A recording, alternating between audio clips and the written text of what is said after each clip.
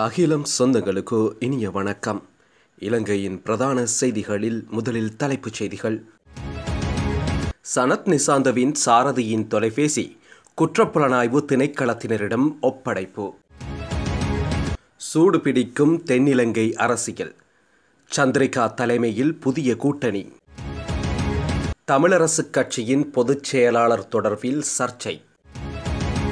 பாதி எரிந்த நிலையில் சடலத்தை பிரேத பரிசோதனைக்கு அனுப்பிய போலீசார். கொழும்பில் மூடப்படும் பிரதான வீதிகள். பத்து வயது சிறுமிக்கு ஆபாச படங்களை காண்பித்து துஷ்பிரயோகம். சாந்தன் ஆபத்தான நிலையில் சென்னை மருத்துவமனையில் அனுமதி. இளையராஜா மகள் பவதாரணியின் உடல் தாயின் சமாதி அருகே நல்லடக்கம். தொடர்வன விரிவான செய்திகள். வாகன விபத்தில் உயிரிழந்த ராஜாங்க அமைச்சர் சனத் நிசாந்தவின் சாரதியின் கையடக்க தொலைபேசி குற்றப்புலனாய்வு திணைக்களத்தினரிடம் ஒப்படைக்கப்பட்டுள்ளது. தெற்கு அதிவேக நெடுஞ்சாலையில் நேற்று முன்தினம் இடம்பெற்ற வாகன விபத்தில் ராஜாங்க அமைச்சர் சனத் நிசாந்த மற்றும் அவரது பாதுகாவலரான போலீஸ் கான்ஸ்டபிள் அனுராதா ஜெயக்கோடி ஆகியோர் உயிரிழந்திருந்தனர்.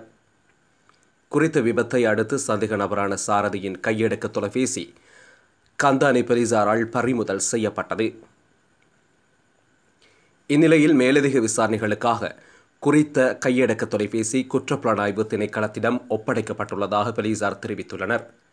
மேலும் குறித்த விபத்தில் படுகாயமடைந்த ராஜாங்க அமைச்சர் சனத் நிசாந்தவின் சாரதியான இருபத்தெட்டு வயதான பிரபாத் எரங்க போலீஸ் காவலில் ராகம வைத்தியசாலையில் சிகிச்சை பெற்று வரும் நிலையில் அவருக்கு விளக்கமறியல் உத்தரவு பிறப்பிக்கப்பட்டுள்ளமை குறிப்பிடத்தக்கது. ஸ்ரீலங்கா சுதந்திர கட்சியை முதன்மையாக கொண்டு புதிய அரசியல் கூட்டணி ஒன்று அமைக்கப்படவுள்ளதாக அரசியல் வட்டாரங்கள் தெரிவிக்கின்றன. இந்த கூட்டணியின் தலைவராக முன்னாள் ஜனாதிபதி சந்திரிகா பண்டார்நாயக்க குமாரதுங்க தெரிவு செய்யப்பட்டுள்ளதாகவும் இந்த பொறுப்பை ஏற்க அவர் இணக்கம் தெரிவித்துள்ளதாகவும் செய்திகள் வெளியாகியுள்ளன. சுதந்திர கட்சியை முதன்மையாக கொண்டு புதியதொரு கூட்டணியை ஆரம்பிப்பது தொடர்பான பேச்சுவார்த்தைகள் முன்னெடுக்கப்பட்டுள்ளதாக அரசியல் வட்டாரங்கள் தகவல் தெரிவித்துள்ளன.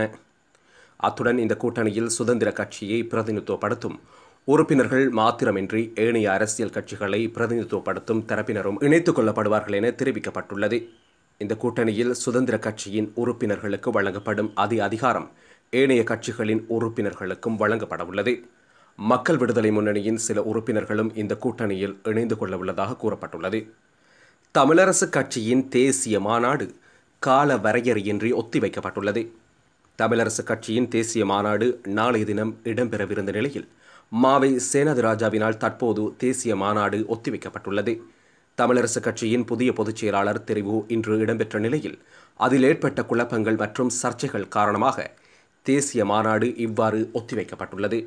இன்று காலை முதல் தமிழரசு கட்சியின் பொதுச் செயலாளர் தெரிவில் இழுபறி நிலை ஏற்பட்டு மாலை முன்னாள் நாடாளுமன்ற உறுப்பினர் ஸ்ரீநேசன் மற்றும் குகதாசன் ஆகியோருக்கிடையில் வாக்கெடுப்பு நடத்தப்பட்டது. இதன்போது அதிக வாக்குகளை பெற்று குகதாசன் தெரிவு செய்யப்பட்டிருந்த போதும் அதன் பின்னர் ஏற்பட்ட குழப்ப நிலை காரணமாக பொதுச் செயலாளர் தெரிவு செல்லாது என்றும் அறிவிக்கப்பட்டுள்ளது. பொதுச் செயலாளர் தெரிவை ஏற்றுக்கொள்வதா இல்லையா என்பது தொடர்பில் பொதுச்சபையில் கை உயர்த்தப்பட்டு வாக்கெடுப்பு நடத்தப்பட்ட போது பொதுச்சபை உறுப்பினர்கள் அல்லாதவர்கள் பலர் வாக்களித்தனர் என்ற காரணத்தை கருத்தில் கொண்டு கால வரையறையற்று கட்சியின் தேசிய மாநாடு ஒத்திவைக்கப்பட்டது. இதேவேளை மீண்டும் இது தொடர்பில் தீர்மானம் எடுக்கப்படும் என்று மாநாட்டை மாவை சேனாதிராஜா ஒத்திவைத்தார். வேயங்குட பகுதியில் தகனம் செய்யப்பட்ட சடலத்தை அகற்றி பிரேத பரிசோதனைக்காக வைத்தியசாலைக்கு கொண்டு செல்லப்பட்ட சம்பவம் பெரும் பரபரப்பை ஏற்படுத்தியுள்ளது. இந்த சம்பவம் தொடர்பில் மேலும் தெரிய வருவதாவது வேயங்குட பகுதியைச் சேர்ந்த பெண்ணொருவர் மேரிகமவில் உள்ள முதியோர் இல்லத்தில் தங்கியிருந்த நிலையில் நிமோனியா காய்ச்சலால் உயிரிழந்து விட்டதாக மருத்துவர்கள் அறிவித்து உடலை தகனம் செய்ய நடவடிக்கை எடுத்தனர். குறித்த பெண் நோய்வாய்ப்பட்டு மீரிகம் ஆதார வைத்தியசாலையில் அனுமதிக்கப்பட்டு நிமோனியா காய்ச்சலால் உயிரிழந்துள்ளதாக வைத்தியர்களின் தீர்மானத்திற்கு அமைய அவர் உயிரிழந்துள்ளதாக போலீசார் தெரிவித்தனர். எனினும் குறித்த பெண்ணின் மரணம் குறித்த தகவல்களுக்கு அவரது பாதுகாவலர் எந்த பதிலும் தெரிவிக்காததால் முதியோர் இல்லம் மேரிகம சுடுகாட்டில் சடலத்தை தகனம் செய்ய நடவடிக்கை எடுத்துள்ளது. அதேவேளை குறித்த பெண்ணின் மரணத்திற்கு துஷ்பிரயோகம் நடந்ததும் காரணம் என சந்தேகிப்பதாக உறவினர் ஒருவர் கம்பகா பிரிவு போலீஸ் அத்தியட்சகரிடம் முறைப்பாடு செய்ததை அடுத்து மேரிகம போலீசார் விசாரணைகளை முன்னெடுத்தனர். இந்த நிலையில் திடீர் மரண விசாரணையாளர் துசித புரோமோத் விஜயவர்தனுடன் போலீஸ் குழு ஒன்று சுடுகாட்டிற்கு வரவழைக்கப்பட்டு தகனம் செய்யப்பட்ட சடலத்தை அகற்றி பிரேத பரிசோதனைக்காக வத்துப்பிட்டிவள வைத்தியசாலைக்கு அனுப்பி வைத்ததாக தெரிவிக்கப்படுகின்றது.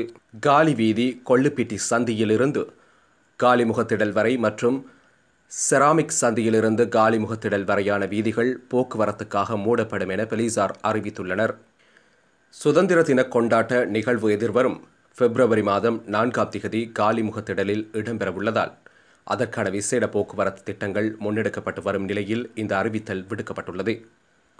எதிர்வரும் இருபத்தி ஒன்பதாம் திகதி பிப்ரவரி இரண்டாம் திகதி வரை காலை ஆறு மணி முதல் எட்டு முப்பது மணி வரையிலும் முற்பகல் பதினோரு மணி முதல் நண்பகல் பன்னிரண்டு முப்பது மணி வரையிலும் குறித்த வீதிகள் மூடப்பட உள்ளதாக தெரிவிக்கப்படுகின்றது.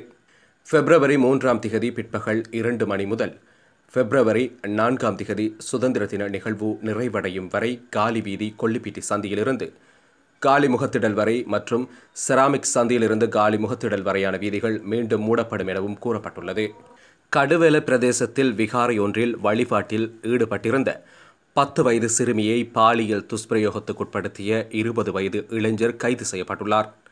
பாதிக்கப்பட்ட சிறுமி தனது தாய் மற்றும் சகோதரியுடன் வழிபாட்டுக்காக விகாரைக்கு சென்றுள்ளார்.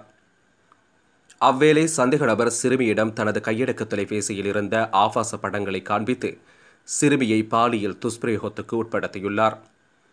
பாதிக்கப்பட்ட சிறுமி சத்தமிட்டு கொண்டு தனது தாயிடம் சென்றபோது சந்தேக நபர் தப்பிச் சென்றுள்ளார். சம்பவம் தொடர்பில் பாதிக்கப்பட்ட சிறுமியின் குடும்பத்தினர் போலீஸ் நிலையத்தில் முறைப்பாடு செய்துள்ளனர். இதையடுத்து மேற்கொள்ளப்பட்ட விசாரணையில் ஆபாச படங்களை காண்பித்ததாக கூறப்படும் கையடக்க தொலைபேசியுடன் சந்தேக நபர் கைது செய்யப்பட்டுள்ளதாக கடுவெல போலீசார் தெரிவித்துள்ளனர். இந்திய பிரதமர் ராஜீவ் காந்தி கொலை வழக்கில் பொது மன்னிப்பின் கீழ் விடுதலை செய்யப்பட்ட. சாந்தனின் உடல்நிலை கடுமையாக பாதிக்கப்பட்டுள்ளதாக தெரிவிக்கப்படுகின்றது. அவர் உயிருக்கு ஆபத்தான நிலையில் இன்று சென்னை வைத்தியசாலையில் அனுமதிக்கப்பட்டுள்ளதாக இந்திய ஊடகங்கள் செய்தி வெளியிட்டுள்ளன. ராஜீவ்காந்தி கொலை வழக்கில் பொது மன்னிப்பின் கீழ் விடுதலையாகி தற்போது திருச்சி சிறை முகாமில் தடுத்து வைக்கப்பட்டுள்ள நிலையில் அவரது உடல்நிலை கடுமையாக பாதிக்கப்பட்டுள்ளதாக தெரிவிக்கப்படுகின்றது. அத்துடன் கல்லீரல் சிறுநீரக பாதிப்பு ஏற்பட்டுள்ள நிலையில் திருச்சி சிறப்பு முகாமில் சாந்தனிற்கு உரிய சிகிச்சை அளிக்கப்படவில்லை என்றும் குற்றம் சாட்டப்பட்டுள்ளது. இந்த நிலையில் மோசமான உடல்நலக் குறைவால் திருச்சி அரச மருத்துவமனையில் அவசர சிகிச்சை பிரிவில் சிகிச்சை அளிக்கப்பட்டு வந்த அவர் தற்போது சென்னைக்கு மாற்றப்பட்டுள்ளதாக தெரிவிக்கப்படுகின்றது. இளையராஜாவின் மகளும் மறைந்த பாடகியுமான பவதாரணியின் உடல் தேனி அருகே உள்ள லோயர் கேம்ப் பகுதியில் உள்ள இளையராஜாவின் தாயார் மற்றும் மனைவியின் நினைவிடங்களுக்கு அருகில் நல்லடக்கம் செய்யப்பட்டது. புற்றுநோய் காரணமாக இலங்கையில் ஆயுர்வேத சிகிச்சை பெற்று வந்த நிலையில் கடந்த இருபத்தைந்தாம் திகதி மாலை காலமானார். அவரின் உடல் நேற்று விமானம் மூலம் சென்னைக்கு கொண்டு செல்லப்பட்டு இன்று மாலை வரை மக்கள் அஞ்சலிக்காக தியாராய நகரில் உள்ள இளையராஜாவின் இல்லத்தில் அஞ்சலிக்காக வைக்கப்பட்டிருந்தது. இதன்போது மத்திய அமைச்சர் எல் முருகன் தமிழக அமைச்சர் உதயநிதி திரைப்பிரபலங்களான சிவகுமார் கார்த்தி விசால் வெங்கட் பிரபு குட்டி பத்மினி ராதிகா விஜய் ஆண்டனி சேரன் லிங்குசாமி பரத்வாஜ் மோகன் ராஜா மனோஜ் பாரதி ராஜா ராமராஜன். இசையமைப்பாளர் தினா பாடகர்கள் உன்னி கிருஷ்ணன் ஏ ஆர் ரஹ்மான் மகன் ஏ ஆர் அமீன். மிர்ச்சி சிவா வெங்கட் பிரபு அணியினர் உள்ளிட்டோர் பவதாரணியின் உடலுக்கு அஞ்சலி செலுத்தினர். பின்னர் பவதாரணியின் உடலை இளையராஜாவின் சொந்த ஊரான தேனிக்கு பிரத்யோக அமரர் ஊர்தி மூலம் நேற்றிரவு எடுத்து சென்றனர். இன்று காலை அவரது உடல் தேனிக்கு கொண்டு வரப்பட்டது. கார்த்திக் ராஜா யுவன் சங்கர் ராஜா வெங்கட் பிரபு பிரேம்ஜி அமரன் மற்றும் இளையராஜாவின் உறவினர்களும் தேனி வந்தனர். தேனி லோயர் கேம்பில் உள்ள இளையராஜாவின் பண்ணை தோட்டத்தில் பவதாரணி உடல் அஞ்சலிக்காக வைக்கப்பட்டது. அங்கு ட்ரம்ப் சிவமணி நடிகர்கள் ஜோன் விஜய் அபி சரவணன் இயக்குனர் அமீர் உள்ளிட்டோர் அஞ்சலி செலுத்தினர். பின்னர் பவதாரணி உடல் சாந்தி அடைய ஓதுவார்கள் மூலம் திருவாசகம் பாடப்பட்டது. தொடர்ந்து இறுதி சடங்குகள் மேற்கொள்ளப்பட்டன. இதையடுத்து இளையராஜாவின் அம்மா சின்னத்தாய் மற்றும் மனைவி ஜீவாவின் நினைவிடத்திற்கு இடையில் பவதாரணியின் உடல் மாலை ஐந்து மணியளவில் நல்லடக்கம் செய்யப்பட்டது. இத்துடன் அகிலத்தின் பிரதான செய்திகள் நிறைவுக்கு வருகின்றது. இலங்கையின் பிரதான செய்திகளை அறிந்து கொள்ள அகிலத்துடன் இணைந்திருங்கள். நன்றி வணக்கம். அகிலம் மாற்றத்திற்கான மக்கள் குரல். இந்த வீடியோ பிடிச்சிருந்தா லைக் பண்ணுங்க கமெண்ட் பண்ணுங்க ஷேர் பண்ணுங்க. மறக்காம கீழே இருக்க பெல் ஐகானை கிளிக் பண்ணுங்க.